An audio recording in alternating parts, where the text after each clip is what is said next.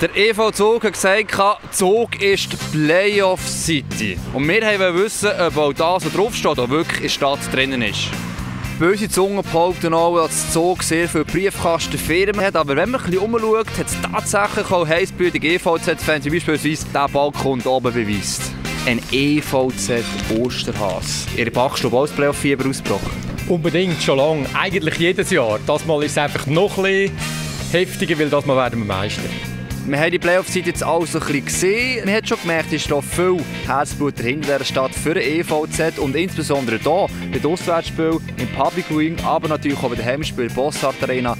Da wird es so richtig rocken und darum ist eben Zug durchaus Playoff-City würdig. Also, wir haben das Ganze angeschaut und jetzt ja, gönnen wir noch den Schocki-Osterhass vom EVZ, hätte ich gesagt.